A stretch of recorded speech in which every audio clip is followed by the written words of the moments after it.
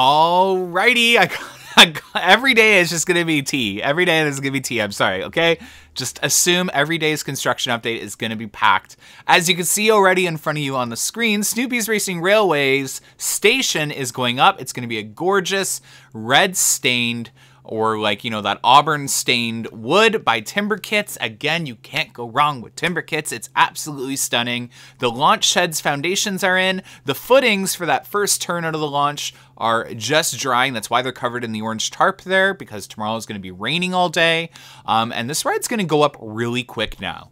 Tundra Twister was loading its little, I don't know what you want to call that, the connector piece to the motor that'll spin the, the two stems that are connected to the gondolas. The gondola connectors were installed on that piece. If you zoom in really closely there, right in front of that truck's flatbed, um, uh, you'll see that they have the connectors for the gondolas in this update, you're actually going to see them move that into the park and start connecting it to the motors, which will then lift in place. Depending on the uh, the weather and the wind tomorrow, they should install that piece. If not, it'll be Friday.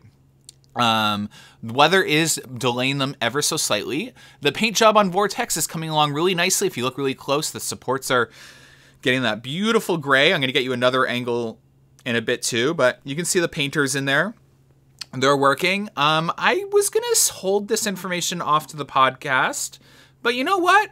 I'm feeling generous. Um, from what I'm hearing through the rumblings, Behemoth will be receiving its paint job in 2024. Same time Vortex is receiving its right now, uh, Behemoth will be getting it. So I'm pretty confident in saying that I feel confident um, enough to say that this channel's prediction is that Behemoth will get its paint job in spring 2024 um, or the end of this season, 2023, for next season. Um, nonetheless, as you can see, the part was moved in. Clockworks got installed really quickly. If you remember my update yesterday, it did not look like that, and now it looks like that. um, so yeah, the parks maintenance team is really, really strong because when you compare this to other parks that take like three days to get one train on the track, looking at you, Busch Gardens, Williamsburg, and Kings Dominion, um, Wonderland's maintenance team is really trained well or just really good at their job um, because uh, Vortex had two trains installed in a day, if you remember that, back in like a couple weeks ago, three weeks ago, and then Clockworks but yeah, here's Tundra Twister's little, you know, thing that they're going to attach to those two motors down there on the ground. You see that little slit? That's where that's going to go into, those two little cylinder um, auburn, like rust color, brown color motors on the ground there right in front of it. It's going to connect to that, and they're going to install that piece either tomorrow, depending on weather, or Friday, or Thursday or Friday. Um, so definitely keep an eye out for that.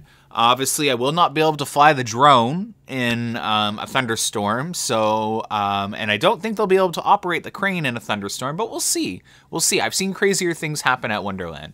Um, but yeah, I'm super excited. Honestly, like I can't wait. I was talking about it today with Syria while we were sitting in the car, um, just waiting to see if they were going to install this piece tonight or not and it's gonna be really exciting to see this thing testing like from the drone in person like it's, it's gonna be really cool so i'm super excited about tundra twister i know you guys know that um, but ah, i'm just i'm just super excited vortex is gonna look really good behemoth is gonna go, look good next season we got we got a bunch of new haunted houses. Like Cedar Fair is really throwing money at this park, and just uh, from what I know about our future, like 2025, and you know how there's gonna be about 10 to 15 million dollars every season being invested in the park now.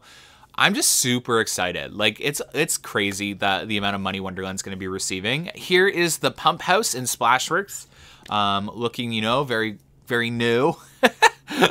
and uh, yeah, this is the I'm about to pack up. You can't see the piece, but this was them kind of folding down the the crane now for Tundra Twister. Um, and uh, yeah, they should move forward again. It's it all depends on weather. And I sometimes the construction team does work in heavy rain. I have seen them do that. Actually, I think it was the last rainstorm we had. They worked. So on Tundra, it's weird because Snoopy's will take a break um, with weather, but Tundra won't. And Tundra, eh, the construction team for Tundra works on weekends now, Saturday too, Saturdays and Sundays. Um, this is just uh, looking at the supports um, and vortex to get you a different angle of it. Um, and then you're going to see Yukon's trains. There's Yukon Strikers trains, you know, all put back together, ready to go. Um, this ride will be running this weekend, should be running this weekend. Um, and, uh, you know, depending on weather tomorrow, it should be cycling tomorrow too. Um, but yeah, super excited. Hopefully you enjoyed today's update. Comment down below if you have any questions and have a great week, guys. Bye.